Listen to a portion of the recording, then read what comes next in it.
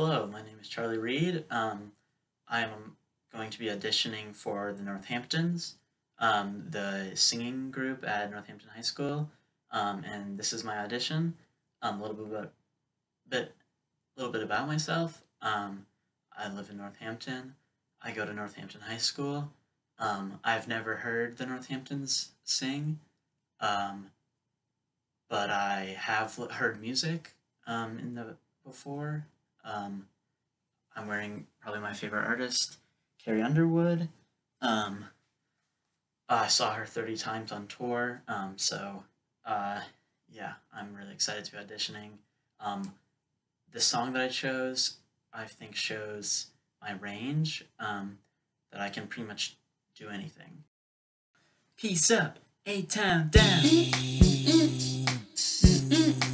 Usher, usher, usher.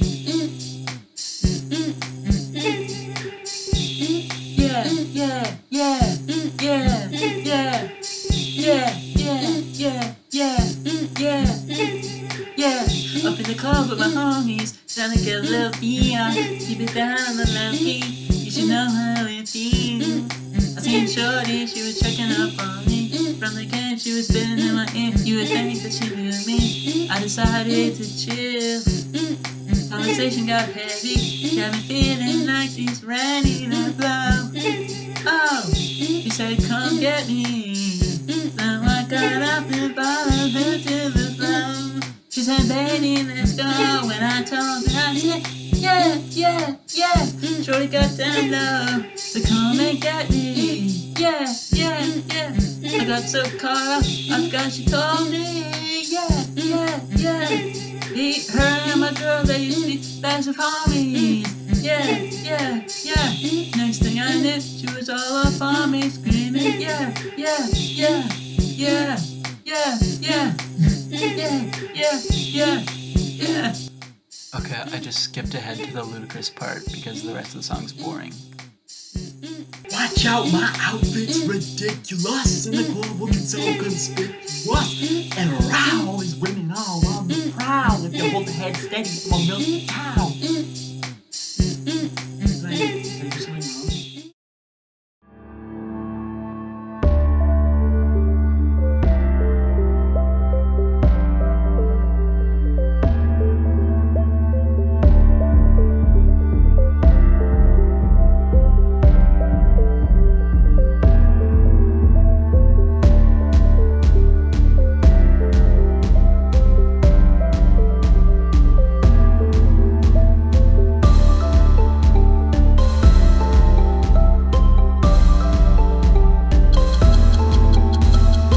Senator Bernie Sanders has suspended his presidential campaign on Wednesday.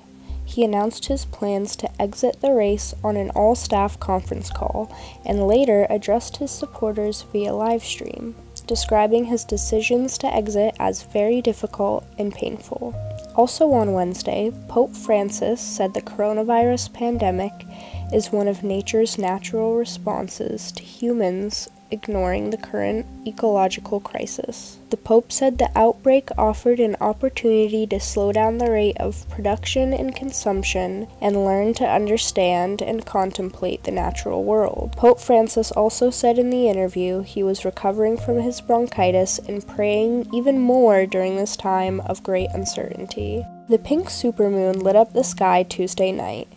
Seen here are some incredible photos of 2020 April's full moon from across Massachusetts. Hi, I'm Katie, and welcome back to What's Left. This week, we're making not your average nachos.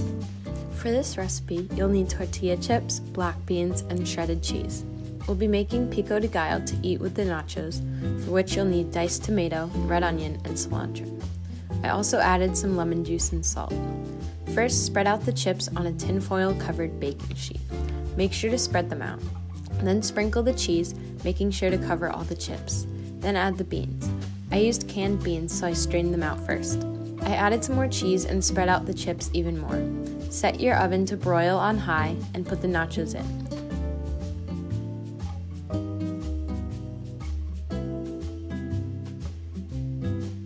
Check on them frequently and take them out after all the cheese has melted and bubbled. Now we'll make the pico de gallo. Mix the diced tomatoes, red onion, and cilantro in a bowl. Then add a few drops of lemon juice and a pinch of salt.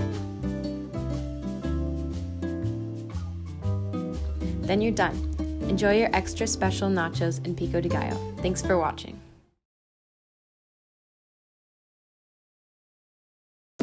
Ready for this?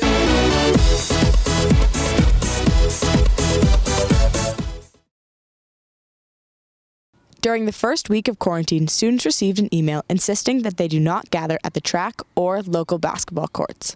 Last Saturday, Mayor Narkewicz closed all public recreation facilities, including playgrounds, parks, and of course, basketball courts. Nets and rims were removed from all basketball courts, even the new favorite Ryan Road court. We sat down with local Ryan Road basketball enthusiasts to hear their opinions on the nets and rims being removed from courts. I think taking down the nets and rims has kind of been different because I'm I'm so used to coming here every day and just playing basketball with some of my friends, and because of this virus, like I'm not really allowed to do that. It's just been like boring and just like not fun.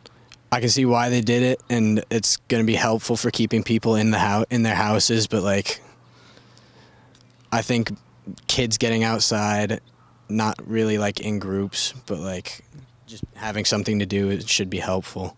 the Nets being taken down in Northampton has affected me because um, one of the only things that I really could do was play basketball by myself at a hoop, but now there's no hoop, so now I can't really do that.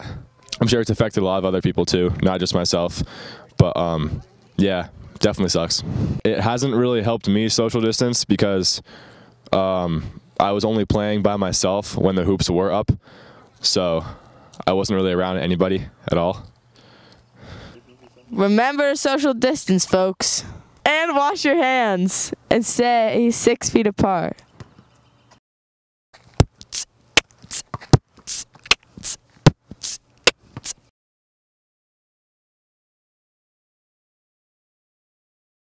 Hi, I'm Lane. And I'm Gus. Welcome to Deep Dive. This week on Deep Dive, we looked into the Formula One season and how it has been impacted so far from coronavirus and how they have tried to keep their season alive and the fans engaged. Fear of the coronavirus has caused many major league and popular sports to be canceled or postponed. The NBA season has been postponed and the MLB preseason has been canceled. But Formula One, a form of single seater auto racing, which is most popular in Europe, has found some ways to get around coronavirus restrictions. There are 10 teams in Formula One, each with two drivers. 20 drivers start the race and do 50 to 75 laps, taking about two hours. There are a total of 22 tracks, and cars reach speeds of over 200 miles an hour. Because Formula One is the pinnacle of motorsport racing, there is reportedly over $1 billion in payout between the teams alone. Many people and franchises are taking big losses by the season's delay, but the drivers are finding ways to still socialize and practice their hmm. driving skills online using simulators. This past week, there was an online race called the Virtual GP at Albert Park in Melbourne, Australia. Drivers used their home setups to race against each other in the F1 2019 game. Six of the participants were current F1 drivers, and the other 14 were a mix of retired F1 drivers, reserve drivers, and celebrities. Charles Leclerc, a current Ferrari F1 driver, took first place. Christian Lundgaard, an F2 driver for ART Grand Prix, took second, and George Russell, a current Williams F1 driver, took third.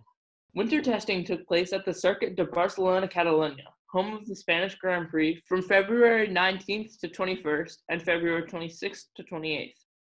This is the first time that the teams got to test their 2020 cars and make adjustments before the upcoming seasons. Team Williams showed much promise with their car, as they have had a rough couple of years, starting at the back of the grid every race. And Racing Point cloned the 2019 Mercedes car and did similar lap times as them in winter testing last year.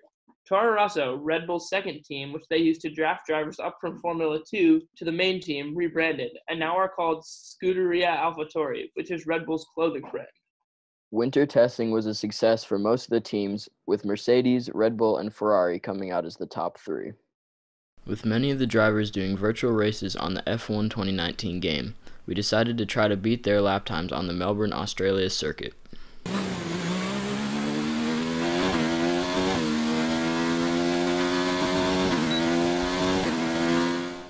As you can see, our lap times were pretty far off from the Formula One drivers, showing just how much skill they have, even in a game. Thanks for driving with us, and we'll see you next time on Deep Dive.